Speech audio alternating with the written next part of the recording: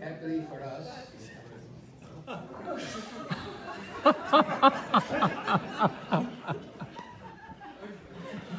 How are you? They're fun.